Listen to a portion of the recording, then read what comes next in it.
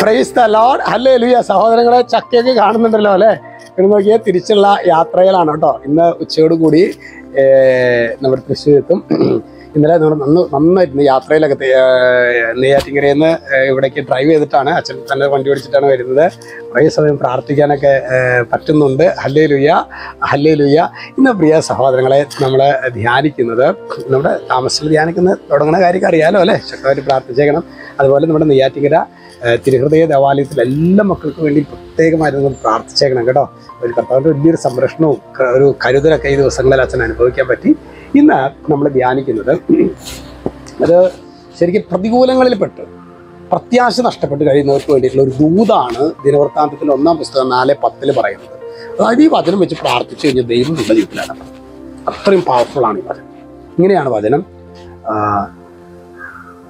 അവൻ ഇസ്രായേലിന്റെ ദൈവത്തോട് പ്രാർത്ഥിച്ചു. അവൻ എന്നുള്ളത് ഞാനായിട്ട് കണ്ടാൽ മതി. ബൈബിളിൽ നിൽക്കില്ല. ഞാൻ കർത്താവിന്റെ ദൈവം എന്റെ ഇസ്രായേലിന്റെ ദൈവത്തോട് പ്രാർത്ഥിച്ചു എന്ന് പറയണം.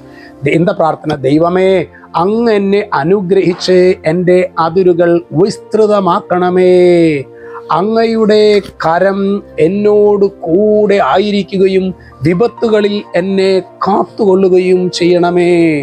ഒന്നുകൂടി പ്രാർത്ഥിക്കുന്ന സഹോദരങ്ങളെ ദൈവമേ അങ്ങ് എന്നെ അനുഗ്രഹിച്ച് എന്റെ അതിരുകൾ വിസ്തൃതമാക്കണമേ.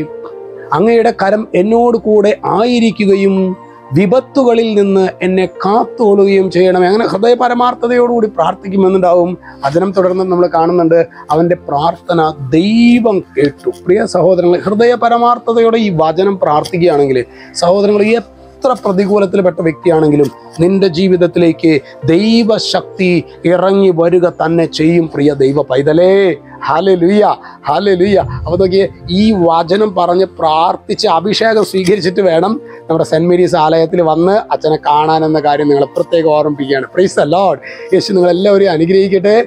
രക്ഷിതാവ് യേശു ക്രിസ്തുവിന്റെ നാമത്തിൽ ആശീർവദിക്കുന്നു. ഇപ്പോഴും എപ്പോഴും എന്നേക്കും. ആമേൻ.